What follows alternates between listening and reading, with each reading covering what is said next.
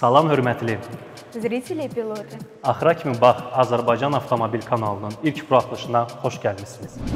Bu gün biz sizə Almaniya avtomobil brendləri sırasında özünə məxsus yer tutan 120 illik tarixi olan Производители автомобилей, двигателей, мотоциклов, а также велосипедов ABMV.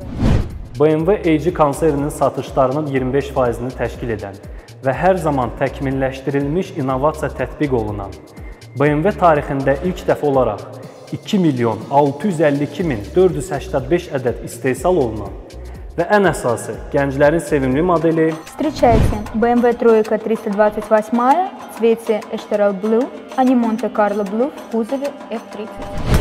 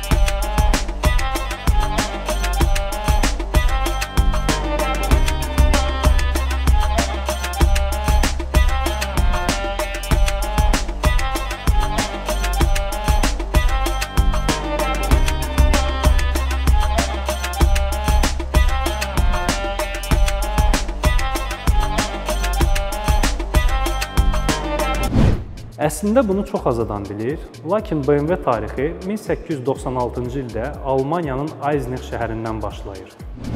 Məhz həmin zaman Enrik Erhard adlı bir yaradıcı həmin şəhərdə kiçik bir zavod açır. Bu zavodda heç bir mühəndis olmadığı üçün Enrik Erhard fransız mühəndislərinin yaratdığı Ducavi adlanan markanın avtomobillərini satın alaraq Warburg brendi altında istehsal etməyə başlayır. Lakin işlər heç də yaxşı getmir. Bir müddətdən sonra zavod müflis olma təhlükəsi ilə qarşılaşır. Belə bir durumda Enrik Erhardın köməyinə Yakov Shapira adlı bir biznesmen çatır. O zavodu müflis olmaqdan xilas edir və növbəti addım olaraq Böyük Britaniyanın istehsal etdiyi Dixie avtomobil brendini satın alaraq məhz həmin zavodda istehsal etməyə başlayır. Amma Henrik Erhard və Yakov Shapira bununla kifayətlənmək istəmirlər və zavoda İsveçrə mühəndisi Karl Friedrich Rappı dəvət edirlər. 1916-cı ildə 7 mart tarixində şirkət ilk dəfə olaraq BFV brendi altında qeydiyyatdan keçir. Bundan sonra daha bir aksioner Camilla Castiglione şirkətə cəlb olunur. Onun səyləri nəticəsində daha bir alman əsilli avtomobil mühəndisi Max Fritz şirkətdə fəaliyyətə başlayır. Rəsmi olaraq BFV adı BMW ilə əvəzlənir və 21 iyul 1917-ci ildə Bayseriş Mötörün Verki adı altında Münhen Qeydiyyat Palatasından qeydiyyatdan keçir. Beləliklə BMW öz istehsal etdiyi məhsulları ilə dünya tarixinə qədəm qoyur. Очень интересно. Думаю, об этом должен знать каждый, кто ездит на BMW. 3-cü seriyanın 6-cı nəsli olan BMW F30 gövdəsi istehsalı 2011-ci və 2019-cu illərdə olmuşdur. Bu model təkcə vətənimizdə deyil, o cümlədən dünyada da çox rəğbətlə qarşılandı. Təsadüfi deyil ki, Dövlət Yol Polisinin inventarına bu model 2015-ci ildə daxil olub və bu günə kimi Bakı küçələrində və digər şəhərlərimizdə xidmət edir. Незаметно для многих шестое поколение третьей серии выпускалось в четырех кузовах. Bəli Fidan, düz vurğuladın.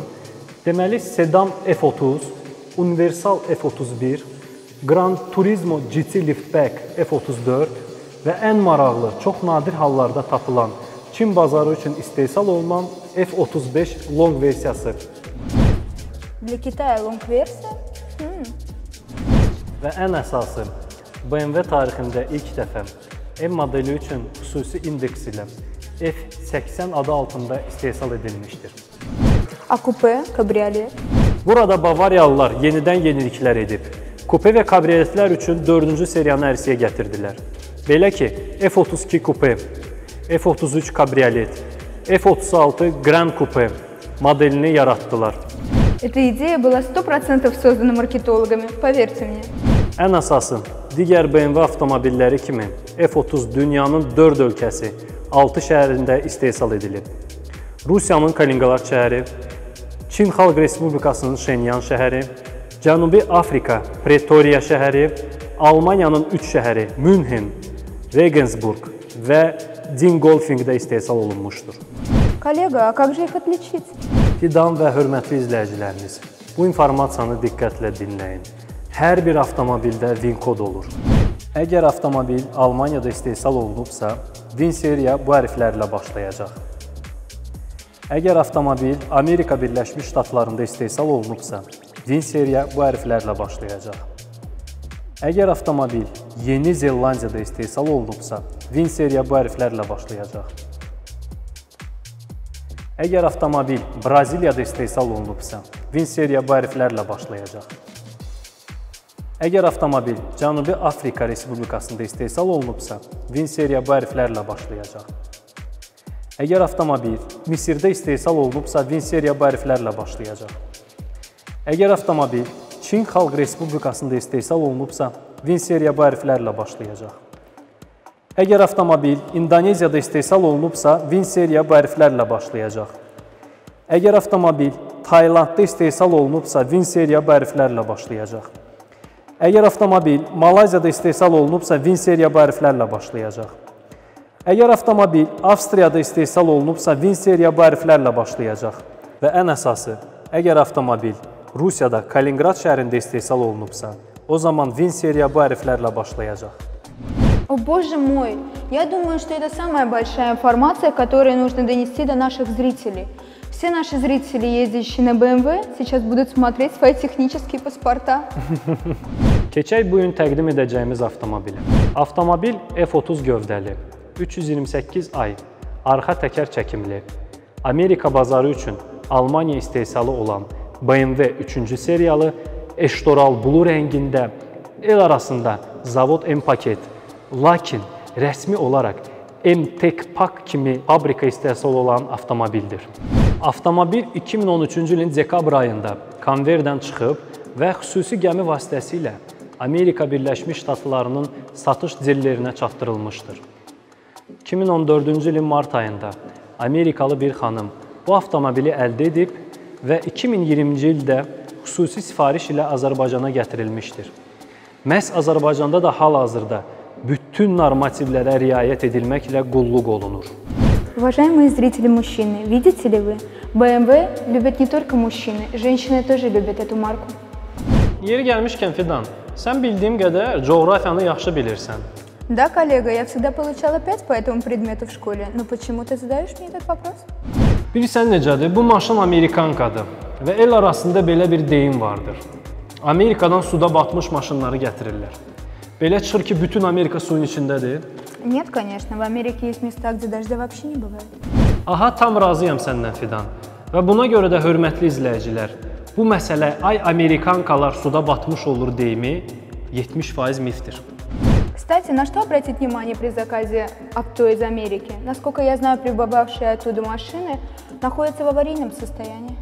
Fidan və hörmətli izləyicilərimiz, bu informasiyanı diqqətlə dinləyin. Ən əsası, gətirmək istədiyiniz avtomobilin hansı ştatda olduğunu dəqiqləşdirin. Xüsusən də hava iqliminin quru keçən şəhərlərinə fikir verin. Sizə 5 şəhəri məsləhət görürəm. 1. Honolulu şəhəri, 2. Los Angeles şəhəri, 3. Miami şəhəri, 4 San Diego şəhəri və 5 San Fransisko şəhərləri. İkinci sualına cavab isə ən əsası avtomobilin VIN kodu, Carfax ilə tarixinə baxın. Avtomobildə aparılan bütün işlərlə tanış olun və yüngül zədəsi arxa hissədən olan və yaxud da ki, sağ və sol hissələrdə zədələnmiş avtomobilləri sifariş edə bilərsiniz. Nə badə qabaq hissəsi, mühərrik bölümü zədə olan və aşmış avtomobilləri almayın. Unutmayın ki, güclü zədəsi olan avtomobili heç bir usta fabrik vəziyyətinə gətirə bilməyəcəkdir. Коллега, ты просто космос. Откуда у тебя столько информации? Avtomobillərə olan sevgim. Yeri gəlmişkən, avtomobilin sahibi adından Azərbaycanda BMW markasının rəsmi və yeganə dilləri olan Improtex Motorsun iki əməkdaşına, daha dəqiq desək, Anar Abdullayeva və Həsən Ağaverdiyeva bəzi suallarda yardımçı olduqlarına görə minnətdarlığımı göndərirəm. Mənim fikrimcə, Improtex servis qiymət baxımından bahalı olsa da, amma insani keyfiyyətlərini digər servislərdən fərqli olaraq qoruyub saxlayırlar. Привет сотрудникам Протекса, особенно маркетологам Зия Махмудову и Гюнай Ейдаровой. BMW AG-nin iki dizaynerinin yaratdığı möhtəşəm eksteryer. Özündə klassik BMW aqressivliyini avangard üslubda cəmləşdirə biliblər. Məhz buna görə də avtomobilin dizayneri üzərində Chris Bangle ilk olaraq bu nömrəni qoyub, Adrian Van Hooydonk isə nöqtəni Хороший дизайн виден сразу, отличный дизайн незаметен. Поговорим о двигателе и мощности этого автомобиля. Fidan, deməli BMW mühəndisləri benzin ilə çalışan 1.5 litr mühərrikli 136 at güclü mühərrikdən 3 litrli 460 at gücə və dizel ilə çalışan 2 litrli mühərrikli 116 at güclü mühərrikdən 3 litrli 313 at gücü hasil edən mühərriklər yaratmışdılar. Hazırki avtomobildə N20, B20, OO indeksli 245 at gücü hasil edən fırlanma anı 350 Nm və twin scrolllu turbo dayanıbdır. Ən maraqlısı budur ki, turbo almanların deyil, Yaponiyanın Mitsubishi şirkətinin aşağıdakı qeyd edilən indekslə turbosudur. Получается, что мы почувствуем вкус японского васаби с немецкими сосисками? Hardasa hə?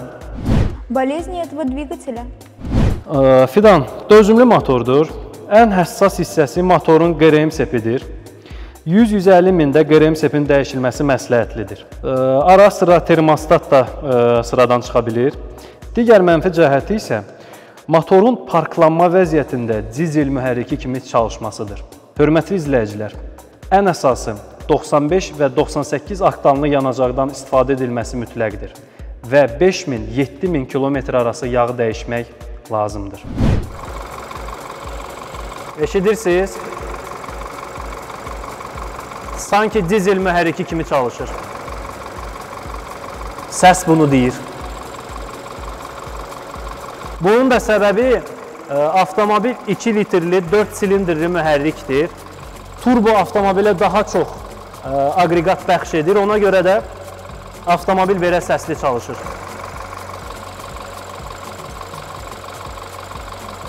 Передняя часть очень красивая и дерзкая. Düzdür Fidan, tam razıyam səndən. Bavariyalılar tarixdə ilk dəfə olaraq ön fənərləri klassik BMW radiatorları ilə birləşdirdilər. Fikir verirsə bu hissə fənərlə radiatorun birləşməsi hissəsidir. Düzdür, bunu ilk dəfə olaraq Bakıda çəkilmiş məşhur filmdə James Bondun avtomobili kimi tanınan Z8 Y52 gövdəsində olan modeldə bu cür eksperimentlər aparmışdılar. Lakin orada duman əleyhinə olan faralar ə, radiator barmaqlarına birləşdirilmişdir. Fənərlər haqqında bu maşında istehsalçı tərəfindən tam full komplektasiyada təchiz olunmuş BMW LED fənərləri vardır. Baza versiyasında isə halogen faraları vardır. А чем отличаются эти фары? Почему здесь нет противотуманных фар? Birinci sualına cavab, ə, LED faralar Angel Ace deyilən BMW optikası ilə təchiz olunmuşdur. Bu optika avtomobilə xüsusi ə, görünüş verir. Günün istənilən vaxtında işlək vəziyyətdədir. Ən əsası isə döngələrdə istər sağa, istərsə də sola sükanı çevirdikdə fənərlər məhz həmin əraziyə işıqları tənzim edəcəkdir. O ki qaldı duman əleyhinə fənərlərə, ə, hörmətli izləyicilər, diqqətlə dinləyin. BMW-nin bütün modellərində ağla sığmaz komplektasiyalar təklif edir. Bu günə kimi tam full dolu komplektasiyada dünyada barmaqla sayılası qədər BMW mövcuddur. Bu isə ondan ibarətdir ki, alıcının istəyinə uyğun şəkildə komplektasiyanı təqdim edir. Digər markalar kimi limitli opsiyalar BMW-lərdə yoxdur. Коллега, значит, ни один BMW не похож на любой другой BMW? Bəli, demək olar ki, bu belədir. Texniki parametrlər baxımından belədir əslində. Amma çox nadir hallarda bir-birinə 100% oxşayan BMW tapmaq olar. Дорогие дамы, позвольте посоветовать вам, не верьте торговцам при покупке BMW. Qeyd etdiyimiz kimi avtomobil MTEC Sportline-dir və bu da bamperdə özünü büruzə verir. Bamper daha aqressiv tərzdə dizayn edilib. Bamperdə məhz ə, avtomobilin sadə dillə desək, su vuran bölüm yoxdur. Yeri gəlmişkən, avtomobilin sahibi ön bamperə xüsusi botlarla bərkidilən aerodinamikanın artırılmasında rol oynayan lip yerləşdirilmişdir.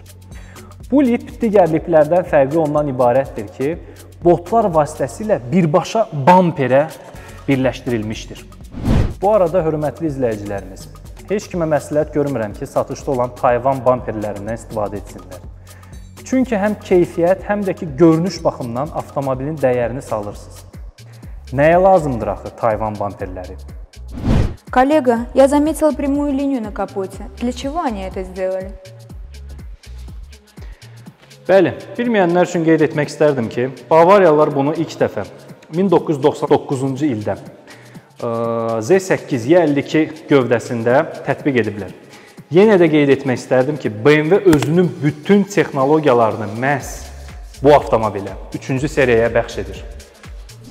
Будь добр, предоставь более подробную информацию. Bax Fidan, bunu diqqətlə dinlə. BMW hər zaman 1-ci, 7-ci seriyanı yaradır. Daha sonra 5-ci seriyanı nümayiş etdirir. Və ən əsası bu 5-ci seriya ilə 7-ci seriyada olan bütün yenilikləri, innovasiyasını məhz F30-da və yaxud da ki 3-cü seriyada tətbiq edir. Коллега, кажется, мы сегодня откроем все секреты. Allah. Yox deməzdim. Elə şeylər var ki, izləyicilər bizdən daha yaxşı bilirlər. Уважаемые зрители, если вы знаете какую-либо интересную информацию, пожалуйста, отметьте ее в разделе комментариев. Не забудьте подписаться и поставить лайк на канал. Avtomobildə təkər ölçüləri tam fərqlidir. Qabaq təkər ölçüsü 225 45 R18, arxa təkər ölçüsü isə 255 45 R18-dir. Disklər isə BMW-nin məşhur Style 400-cüdür. İstehsalçı ramflet təkərləri məsləhət görür. Amma bu təkərlər avtomobilə biraz sərt edir və səsli olur. Hətta asfaltda ə, balaca çuxurlar belə öz reaksiyasını tez verir. Ən əsası qiymət baha və Bakı şəhərində çox az tapılan təkərlərdir. Bu avtomobildə isə normal Goodyear təkərləri dayanmışdır. Əyləc diskləri dözümlüdür və yüksək sürətdə dayanmanı normal tənzimləyə bilir. Normal sürüşdə 80 min-90 min kilometr resursu olur. Əyləc qəlibləri isə 40 min-50 min kilometr ömrü vardır. Avtomobilin bu hissəsi isə Shadowline adlanır. Xüsusi gözəllik bəxş edir. Qara rəngində o hazırlanmış detalları ilə. Günəş şüaları bu hissəni tez bir zamanda bozardır. Bu da BMW-nin xəstəliyidir. Əgər sizin maşınınızda bu hissə bozarıbsa, o zaman cilalamaq və xüsusi polietiran qoruyucu çəkməklə daha uzun ömürlü edə bilərsiniz. Yeri gəlmişkən, Estoril ə, avtomobilin rəngi Estoril tam dəqiq adla desək. Estorilin mənası isə ondan ibarətdir ki, Portuqaliyada məşhur Formula 1 trekinin adı məhz Estoril adlanır. Məhz bu rəng də Portuqaliya dili ilə desək Estoral trekin adı üçün yaradılmışdır. Ну что сказать, задняя часть автомобиля мне вообще очень нравится, это просто бомба. Дизайнеры, конечно, постарались. Фары, глушители, бампера, они просто очаровательны. Bəli Fidan, düz qeyd edirsən. Fənərlərdə BMW-nin klassik L stili burada əks olunub. Diqqətlə fikir verin. L-stil. Avtomobilin bamper hissəsində yerləşən difuzor isə tünd boz rəngində olması ilə bir daha avtomobilin təmiz MTEK olduğunu göstərir. Məhz bu hissə tünd boz rəngində olur. Amma bəzi insanlar bunu rəngləyirlər. Amma zavod tam boz rəngində istehsal edir. Bayaq qeyd etdiyim kimi Tayvan bamperi avtomobildə yoxdur və səs boğucu sistemi M3 modelinə yığılmayıb. Aldadıcı görüntü bəxş edilən e, səs boğucuları 90-lıq, 70-lik, el arasında deyilən nasatkalar burada yoxdur. Eyni zamanda M3 qazan da burada yoxdur. И для чего вообще это нужно? Fidan, zövqlər müxtəlifdir. Yenə də qeyd edirəm, əgər sizin avtomobiliniz adi ə, avtomobildirsə, onun xarici görünüşünü M3-ə yığdırmağın heç bir mənası yoxdur. Nəyə görə? 1. Vaxtınız və pulunuz gedəcək. 2. Avtomobildən anlayan adamlar bunu anında hiss edəcəklər. Avtomobilin baqaj hissəsi kifayət qədər böyükdür. Ayaq jesti ilə açıla bilər.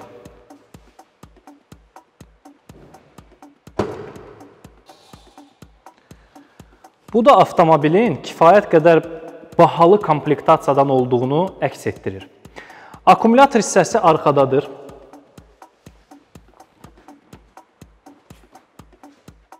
Yeri gəlmişkən, yeni nəsil avtomobillərdə olduğu kimi burada da AGM akkumulyatorları dayanmışdır. Bu da adi avtomobil akkumulyatorlarından biraz daha bahalı olur. Ehtiyat təkəri və disklər əfsuslar olsun ki, burada yoxdur. Ох уж эти маркетологи. Keçək maşının ən sevdiyim hissəsi avtomobilin interyerinə. Коллега, а почему тебе нравится именно эта часть? Bilirsən Fidan, ə, avtomobilin məhz bu hissəsində ə, avtomobil sahibinin həmişə ən çox vaxt keçirdiyi yerdir. İnteryer düşünürəm ən çox həzz və emosiyalar bəxş edən ə, yerdir. İlk növbədə bizi məşhur MTEK oturacaqlar cəlb edir. Çox komfortludur. Maşını idarə edərkən döngələrdə xüsusən bu hissəsi sizi yerinizdən tərpənməyə qoymur. Ə, Bu hissəni xüsusi qeyd etmək istərdim. Uzaq məsafələrdə ayaqlarınızın yorulmağa qoymur. Oturacaqların 90%-i elektrondur. Yalnız bu hissə məhz belə bir formatda açılaraq rahat olur. Yeri gəlmişkən ən çox xoşladığım oturacaqlardan biridir. MTEK. Очень привлекательная черная кожа. Fidan burada sənin sözlərini düzəltmək istərdim. Əfsuslar olsun ki, bu 100% dəri deyil. Bu eko dəridir.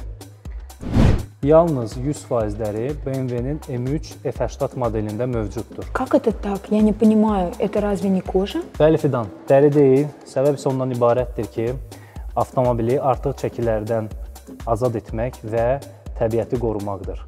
Məhz eko dəri adi dəridən ə, daha yüngül olur və daha dözümlüdür. Avtomobilə daxil olarkən ilk hissədə gözə dəyən monitordur. Məhz ilk dəfə bu formada monitoru BMW 1-ci seriyada, daha dəqiq desək, Y81 gövdəsində istehsal etmişdir. F30-da isə bu monitoru daha da təkmilləşdirmişdilər. Bu avtomobildə isə məşhur SIS indeksli monitor mövcuddur. Hörmətli izləyicilərimiz, bu hissəni diqqətlə dinləyin. F30-da monitorlar tam fərqli formalarda təklif olunub. Belə ki, 2014-cü ilə kimi baza versiyasında Entry, 2015-ci ilə kimi baza versiyasında Entry Nav, 2017-ci ildən sonra baza versiyasında Entry Nav 2, 2014-cü ilə kimi top versiyada isə SIS, 2015-ci ildən sonra top versiyada MBT, 2017-ci ildən sonra isə top versiyada MBT Evo təklif olunur. Ən əsası bu monitorda birbaşa olaraq bord kompütera qoşulmuşdur. Benzin sərfiyyatı, avtomobilin diaqnostikası, yeri gəlmişkən ən xoşuma gələn isə avtomobilin yağın ölçüsünü göstərən şkaladır. Bunun üçün bura daxil oluruq.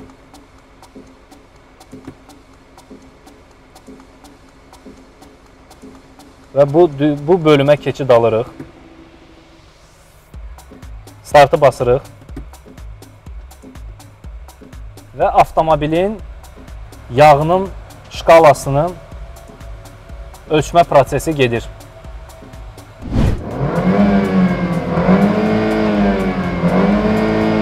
Это очень интересная информация. İdarəetmə paneli çox rahat və informativdir. Klassik BMW üslubunda sürücüyə fokuslanmış torpedo ilə hazırlanmışdır. Keçmiş model Y90-a nisbətən daha avanqard və innovativdir. A nedostatki? Fidan, mənfi cəhətləri torpedo səsli olur. Plastik örtüklər bir müddətdən sonra səs edir. Hazırki avtomobildə də bu öz sözünü deyir. Bax, diqqətlə dinlə. Səsləri eşidirsən? Eyni zamanda burada da olan səslər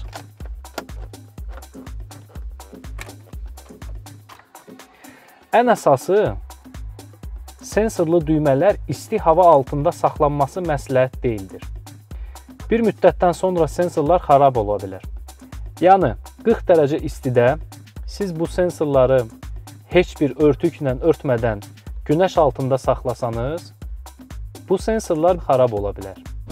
Avtomobilin dam hissəsi xüsusi qara parça ilə üzlənmişdir.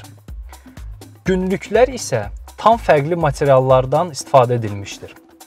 Yeri gəlmişkən, günlüklərdə ehtiyatlı olmaq lazımdır. Çünki günlüklərdəki güzgünü açdıqdan sonra mütləq bağlayın.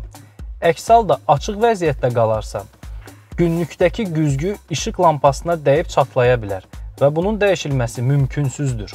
Yalnız yenisi ilə əvəzlənməlidir. Дорогие девушки, если у вашего парня BMW в 33 серия, то про зеркало нужно забыть раз и навсегда.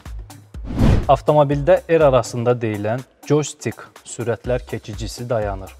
Bu da ilk dəfə olaraq BMW E60 modelində tətbiq edilib. Çox rahatdır. Sanki təyyarə elementinə bənzədiblər. Və ən əsası, bu sürətlər paneli iki növdə mövcuddur. 1. Sadə sükan arxasında keçiricilərsiz. 2 isə ə, bu formada sükan arxasında olan keçicilərlə təchiz edilmişdir. Ötürücülər qutusu isə Almaniyanın məşhur ZF8 pilləli elektron ötürücülər qutusudur. Çox dözümlü və uzun ömürlüdür. Əgər qızdırmasanız. Avtomobildə 4 idarəetmə modulu vardır. Eco, Pro, Comfort, Sport və Sport Plus.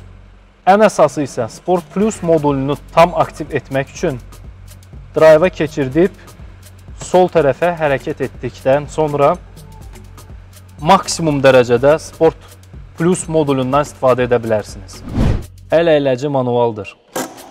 Elektron deyil. Arxa oturacaqlar keçmiş Y90 kuzasına baxdıqda daha genişdir və ən əsası hava deflektorları ilə təchiz edilmişdir. Bir sözlə az da olsa komfort hissi bəxş edir. Эх, жаль, что мошенник уже отсутствует. Fidan səni sevindirmək istərdim. Avtomobilin yeganə 100% dəri ilə örtülmüş hissəsi sükandır. Əksər maşınlarda bu sükan məşhur Napa adlı dəri ilə tikilmişdir.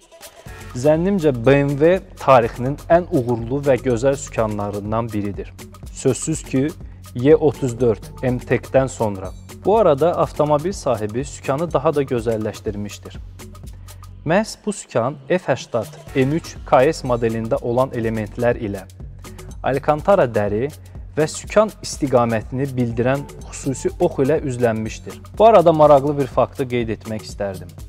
Çoxları bəlkə də BMW loqosunu propeller və ya təyyarə mühərriklərinin istehsalçısı olduğunu bilib onunla əlaqələndirirlər.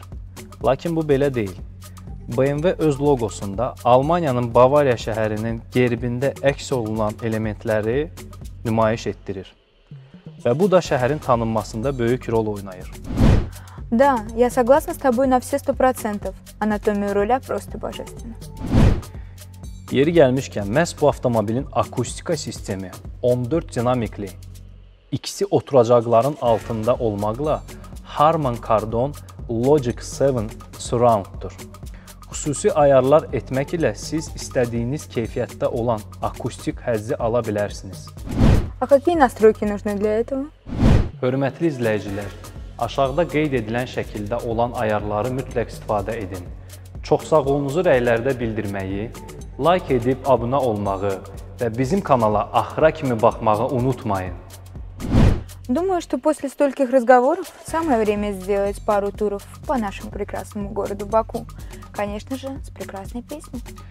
Tam razıyam səninlə Fidan. O zaman kəməri bağla, həyata bağlan şüarına əməl edərək başlaya bilərik.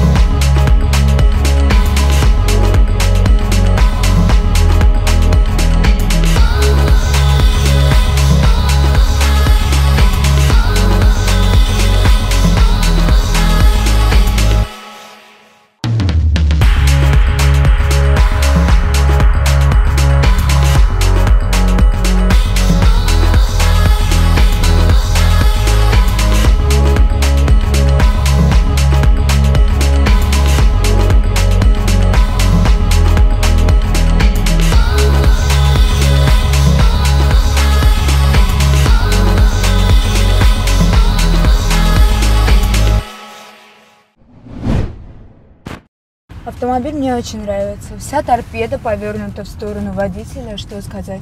BMW – машина эгоиста. А также хотелось бы отметить анатомию руля. Этот дизайн очень удачный. И отдельный респект владельцу за перетяжку в Алькантара с пометкой 12 часов в стиле M3 KS. Fidanın sözlərinə bir neçə söz əlavə etmək istərdim. Xüsusən də oturacaqlarla bağlı. Deməli, MTEK olduğundan oturacaqlar paralonu biraz sərtdir. Daha yumuşaq etmək olardı paralon onları. Yeri gəlmişkən güzgülər barəsində də danışmaq istərdim. Bildiyimiz kimi el arasında deyilən Amerikankaların güzgüləri sol güzgü daha yaxını göstərir. Avtomobilin sahibinə xüsusi respekt bildirmək istərdim ki, sol güzgünü Avropa standartlarına uyğun dəyişmişdir. Yəni bu da görüntünü daha komfortlu və daha təhlükəsiz edir. İkinci bir məsələni qeyd etmək istərdim. X-Drive-a nisbətən daha yumşaqdır və daha komfortludur. Avtomobilin ön şüşəsi, alın şüşəsi nisbətən kiçikdir. Və bu da ə, e, sürücü üçün görüntünü daha yaxşı vermir. Avtomobilin mənfi cəhəti ə, e, qapı kartlarında olan tutacaqlardır. Bu qapı tutacaqları istidən sonra deyim və yaxud da ki çox sürtülmədən sonra mı olsun, yəni ə, e, tez yeyilir. Amma xüsusi bir şey qeyd etmək istərdim. Avtomobil sport modunda çox super emosiyalar bəxş edir insana. Bir dənə dinləyin.